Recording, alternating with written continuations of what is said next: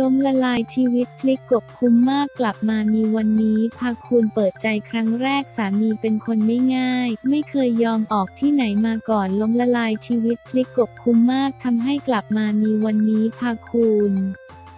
ภรรยาออกรายการเปิดใจครั้งแรกสามีเป็นคนไม่ง่าย ลุกพานุเดชเผยคลิปเพื่อนสนิทกบทรงสิทธิ์สวมบทเชฟ โชว์ฝีมือการทำอาหารเหล่าที่ไม่เคยเผยที่ไหนมาก่อนกับเมนูอมตะ เนื้อหมูไออาต้าที่ง่ายๆ ใครๆก็ทำได้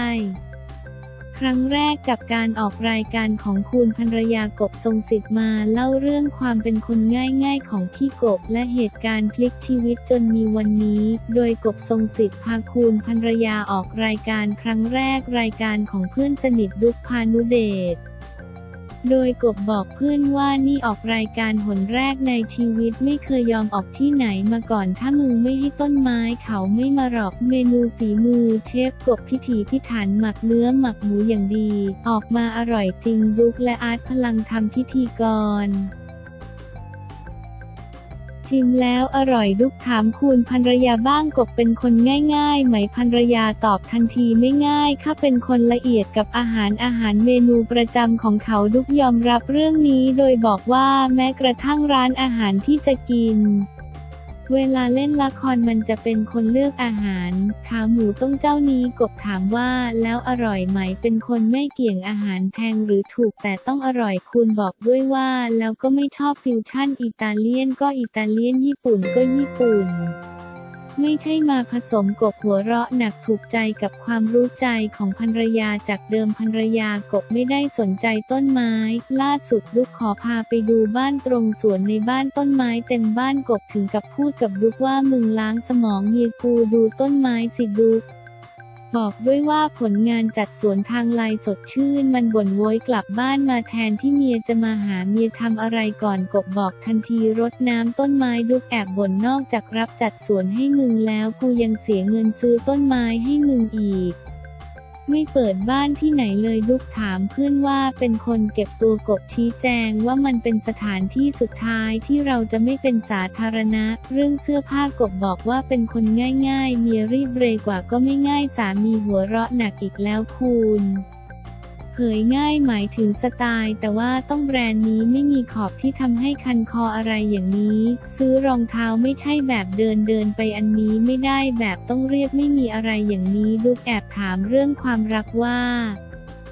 ตอนจีบกันเขาร้องเพลงให้ฟังไหมคุณตอบว่าไม่กบรีบเบรกลุกเดี๋ยวเดี๋ยวมึงมาถามเรื่องกูไม่เอาผ่านผ่านเดี๋ยวร้องไห้อีกไม่ได้ดราม่าเป็นคนตอบน้ำตาตื้น ดูหนังอะไรก็ร้องไห้คุณยอมรับว่าจริงร้องไห้ง่าย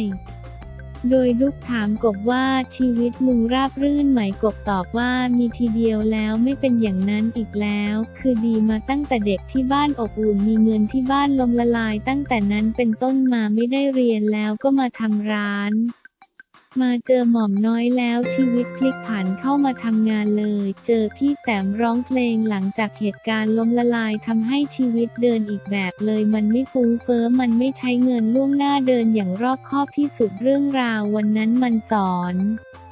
คุ้มคุ้มมากเลยทำให้เราเดินมาถึงวันนี้ได้เรากลับมามีวันนี้ เพราะเหตุผลตรงนั้นมันถึงทำให้เราอยู่ตรงนี้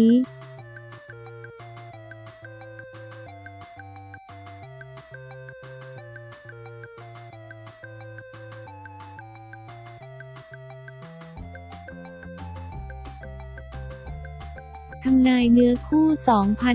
2,565 จากเลขวันเดือนปีเกิดดูเองง่ายๆ แต่แม่นมาก การดูดวงเนื้อคู่คู่แท้คู่ชีวิตถือเป็นเรื่องที่หลายคนให้ความสนใจมาก ซึ่งศาสตร์อย่างหนึ่งที่ใช้ทำนายเรื่องราวต่างๆ ในชีวิตได้ดี คือตัวเลขและวันนี้แก๊งบิวตี้มีวิธีการทำนายเนื้อคู่ 2,565 ของคุณด้วยสูตรตัวเลขง่ายๆ และจะมีวิธีการคิดพร้อมกับผลลัพธ์จะออกมาเป็นอย่างไรนั้น ตามไปทำนายด้วยตัวเองพร้อมๆกันเลยขั้นตอนการทำนายเนื้อคู่ของคุณ แบ่งขั้นตอนออกเป็น 1. การนำเลขวันเกิด ต่อด้วยเดือนเกิดและเลขปีนักสัตว์ที่เกิดมาบวกกัน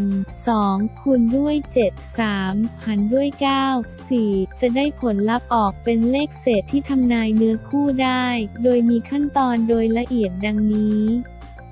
ขั้นตอนการทำนายเนื้อคู่ของคุณหนึ่ง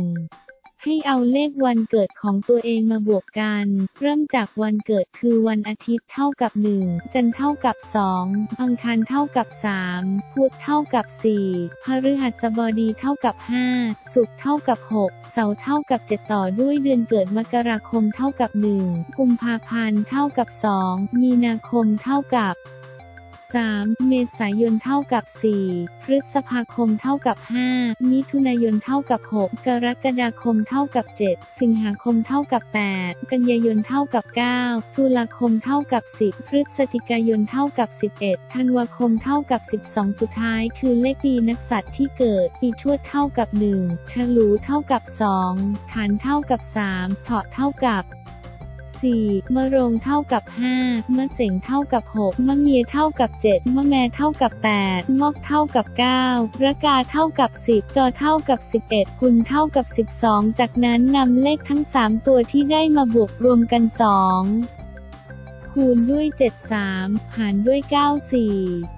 นำเลขเศษที่คำนวณได้มาดูคำเฉลยลักษณะเนื้อคู่ของคุณ ตัวอย่างเช่นเกิดวันพุธเดือนสิงหาคมปีกุลจะได้ผลลัพธ์เท่ากับ 4 บวก 8 บวก 12 เท่ากับ 24 จากนั้นก็คูณด้วย 7 จะได้เท่ากับ 168 และหาร 9 ได้ผลลัพธ์คือ 18.6 เศษคือเลข 6 เท่านี้ก็ตามไปดูเฉลยได้เลยเลขเศษศูนย์เนื้อคู่ของคุณคนนี้นิสัยดีฐานะดีเป็นคนจริงจังชอบคบค้าสมาคมกับคนอื่น ชอบเข้าสังคมมีความมานะอดทน เป็นคนที่ต้องการให้คนอื่นมาเอาใจ และต้องการให้มีคนมารายล้อมเขามากๆชอบท่องเที่ยวไปทุกหนทุกแห่งบางครั้งก็เป็นคนที่โรแมนติกทีเดียว แต่ต้องระวังให้ดีละเพราะเขาคนนี้เจ้าชู้มากเลยเลขเศษหนึ่งคู่ของคุณคนนี้ผิวขาว นิสัยเยือกเย็นเจ้าระเบียบสำหรับความรักของเขาเป็นคนเจ้าอุดมคติ ชอบที่จะให้คุณอยู่ในระเบียบคุณจะต้องทำตามเขาถ้าขัดใจเมื่อไหร่เขาจะไม่พอใจคุณทันที แต่จะเป็นคนที่รักใครแล้วรักจริง ถ้าเขารักคุณแล้ว ก็พร้อมเสมอที่จะแต่งงานกับคุณเลขเศษสองเป็นคนไม่ถือตัวรูปร่างสันทัดผิวสองสีเป็นคนร่าเริงมารยาทเรียบร้อยเสมอต้นเสมอปลายรักเดียวใจเดียวเป็นคนง่ายๆ ชอบตามใจคนอื่นไม่ค่อยมีพิธีรีตองอะไรมากมาย นิสัยดีจิตใจเอื้อเฟื้อเผื่อแผ่ใครใครก็รักค่อนข้างเจ้าชู้ แต่ถ้ารักใครแล้วก็รักจริงเลขเศษสามเป็นคนผิวขาวเหลืองนิสัยเด็ดเดี่ยวมีเสน่ห์อยู่ที่การพูดจะมั่นใจในตัวเองสูง ทุกสิ่งทุกอย่างเขาจะเป็นคนจัดการเองทั้งหมดมีเพื่อนฝูงเยอะมากและเขาคนนี้จะทำหน้าที่เป็นหัวหน้ากลุ่ม ให้คนอื่นทำตามทุกอย่างชอบทำอะไรให้คนอื่นติดใจเลขเศษสี่เนื้อคู่ของคุณคนนี้เป็นคนร่าเริง สนุกสนาน ไม่ถือตัวช่างพูดช่างคุยไม่ชอบให้ใครมาบังคับให้ทำอะไร ชอบที่จะเป็นตัวของตัวเองเป็นคนที่ตั้งใจจะทำอะไรแล้วต้องทำให้สำเร็จบางครั้งค่อนข้างอ่อนไหว แต่ก็เป็นคนที่เชื่อมั่นในตัวเองสูงสุด นับว่าเป็นคนที่น่ารักมากคนหนึ่งทีเดียว เลขเศษห้าเขาเป็นคนรูปร่างสันทัดผิวขาว เป็นคนใจดีมีน้ำใจขยันพูดสนุกกับการพูดจา เป็นคนอ่อนไหวแสนงอน เป็นคนที่หึงตัวฉกาดแต่บางครั้งก็สุขุมเยือกเย็นและอ่อนน้อม ถ้าคุณคิดจะเดาใจเขาคนนี้แล้วก็บอกได้เลยว่ายากเขาเป็นคนพูดตรงไปตรงมาบางครั้งชอบทำอะไรกุ๊กกิ๊กอยู่บ่อยๆ เป็นคนที่อารมณ์ดีได้ทั้งวันแถมยังปากหวานอีกต่างหากเลขเศษหกเขาเป็นคนค่อนข้างขาวนิสัยอ่อนโยน ชอบทุกสิ่งทุกอย่างที่คุณชอบเขาจะตามใจคุณทุกอย่างเป็นคนที่เข้ากับคนอื่นได้ง่าย ขยันพูดต้องการให้คนที่อยู่ใกล้ๆมีความสุขเขาจึงเป็นที่รักของใครต่อใครมากมาย เป็นคนมีเสน่ห์เหลือร้ายใครๆก็รักเลขเศษ เจ็ดเนื้อคู่ของคุณคนนี้มีนิสัยอ่อนโยน ให้ความจริงใจกับความรักไม่ชอบอยู่ที่ไหนนั้นชอบที่จะสนุกสนานไปเรื่อยๆ ไม่ชอบให้ใครมาบังคับให้ทำโน่นทำนี่ เป็นคนมีความรู้สึกอ่อนไหวง่าย บางครั้งอาจเป็นคนเงียบๆ ไม่สูงสิงกับใครชอบที่จะอยู่เงียบๆคนเดียวเป็นคนช่างประดิษฐ์คิดค้นชอบทำอะไรด้วยตัวเองไม่ชอบพึ่งพาคนอื่นเลขเศษ 8 เป็นคนรูปร่างสันทัดผิวสองสีเป็นคนชอบเอาใจผู้อื่นชอบที่จะอยู่กับคนเยอะๆ เขาจะมีความสุขมากถ้าได้พูดคุยกับคนอื่น ชอบทำอะไรง่ายๆ แต่งตัวตามสบายค่อนข้างที่จะเป็นคนเปิดเผย เป็นคนที่เก็บความลับไม่อยู่ และเป็นคนที่จริงจังกับความรักมากๆ จะทนุถนอมคุณอย่างดี ไม่ยอมให้ใครมายุ่งเกี่ยวด้วยเลย เป็นคนขี้หึงด้วยนะเลขเศษเก้าเป็นคนผิวขาวเงียบๆชอบคิดอะไรที่ไม่เหมือนคนอื่น เป็นตัวของตัวเองไม่ค่อยแคร์คนอื่น ชอบทำอะไรที่แสดงถึงความเป็นผู้นำค่อนข้างเผด็จการ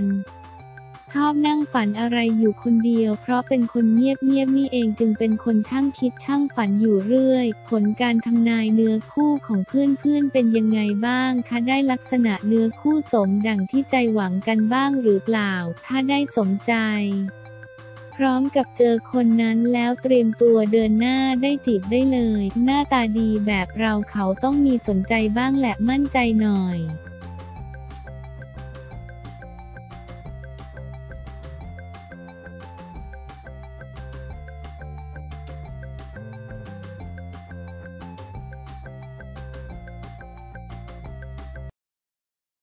Yeah.